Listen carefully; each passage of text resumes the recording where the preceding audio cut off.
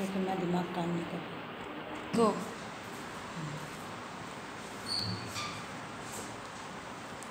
आज हम पढ़ेंगे काव्यखंड, प्रथम पाठ, कबीर की साखियाँ। इसके लिए साखियों में चलने से पहले हमें कबीर के हाँ जीवन के बारे में जानना आवश्यक है। इनकी प्रमुख रचनाएँ थी बीजक कबीर ग्रंथावली और कबीर वचनावली। बीजक के तीन भाग हैं, जिसमें पहला साखी, दूसरा सबद, तीसरा रमैन। साखी में इन्होंने गुरु के विषय में बताया है, सबद में ईश्वर के विषय में बताया है और रमैनी में ज्ञान की चर्चा की है, जो कि परमार्थ का ज्ञान है। कबीर के जीवन परिचय के बारे में जानने के लिए सबसे पहले हम जन्म की ओर चलेंगे कि कबीर का जन्म तेरह सौ अट्ठानवे में और मृत्यु पंद्रह सौ अट्ठारह ईस्वी में हुई थी। छोटे से दोहे के बारे में हम इनका, इनके जीवन की घटना को जानेंगे। जना ब्राह्मणी विद्वानी था, काशी सर में जन्म लिया। जना ब्राह्मणी विद्वानी था, काशी सर में जन्म लिया। तंत वाहिनी रूनी माने पालन कबीरा दास किया। रमानंद के परम शिष्य थे जाति पाति का भेद मिटाया। रमानंद के परम शिष्य थे जाति पाति का भेद मिटाया। पंचमेल खिचड़ी भाषा लिख, निराकार ब्रह्म रूप सिखाया। जना ब्राह्मणी विद्वानी था। अर्थात इनका जन्म ब्राह्मणी विधवा के गर्भ से हुआ था। परंतु नीरुनिमा नामक मुस्लिम दंपति ने इनका पालन पोषण किया।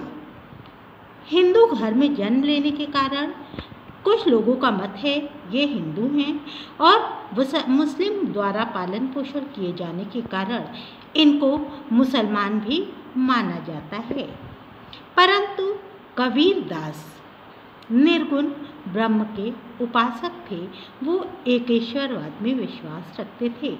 वो कहते थे कि ईश्वर की कोई जाति नहीं, ईश्वर एक है। रमानंद के परम शिष्य थे। वह रमानंद के शिष्य थे। उन्होंने रमानंद की शिक्षाओं से ही जाति पाति, धर्म में जाति और पाति के भेद को मिटा दिया था। अपनी रचनाओं में उन्होंने जाति पाति के भेद का विखंडन किया है। उनकी भाषा पचमेल खिचड़ी थी और जिसके माध्यम से उन्होंने ब्रह्म का निराकार रूप स्वीकार किया है।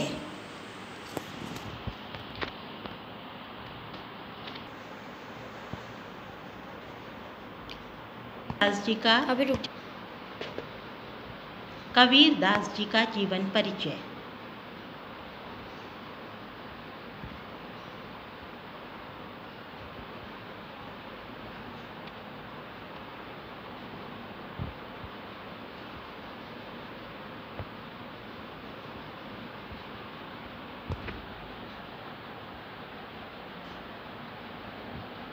कबीर दास जी का जीवन परिचय जानने के बाद अब हमें उनकी प्र, प्रथम रचना सा साखी की ओर चलनी है।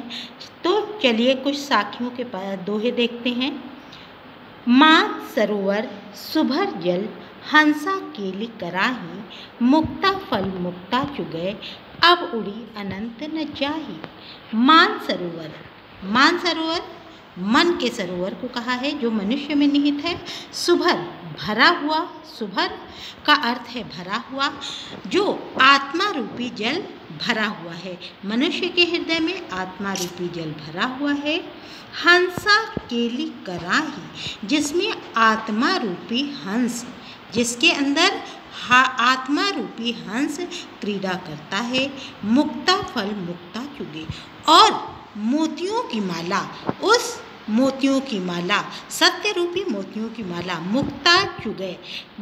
मुक्ता, अर्थात जो जीवन मुक्त हो चुके हैं, अर्थात आत्मा।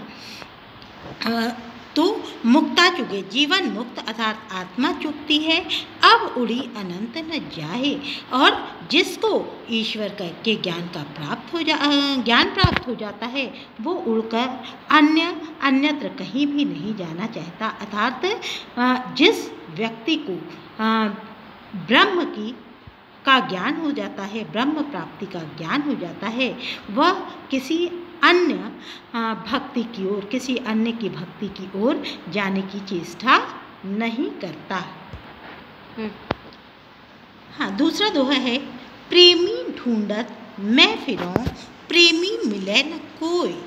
प्रेमी को प्रेमी मिले प्रेमी को प्रेमी मिले सब विष अमृत होए कबीर दास जी कहते हैं मैं प्रेमी अर्थात ज्ञानी को ढूंढता है अर्थात ज्ञान को ढूंढता हूँ। पर प्रेमी मिले न कोई, मुझे तो कोई भी ज्ञानी व्यक्ति कोई भी नहीं मिलता है जिसे ईश्वर की सत्यता का ज्ञान हो। प्रेमी को प्रेमी मिले।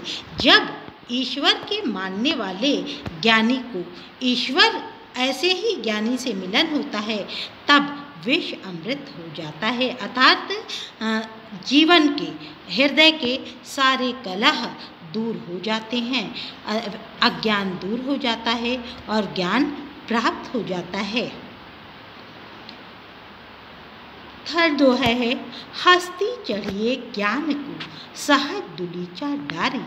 कबीरदास जी कहते हैं कि जिस प्रकार से हाथी पर चढ़ करके मनुष्य अपने को महान समझता है तो हमें ऐसी हाथी पे नहीं चढ़ना चाहिए बल्कि हमको ऐसी ऊंचाइयों ऊंचाई छूना चाहिए जो ज्ञान की ऊंचाई हो।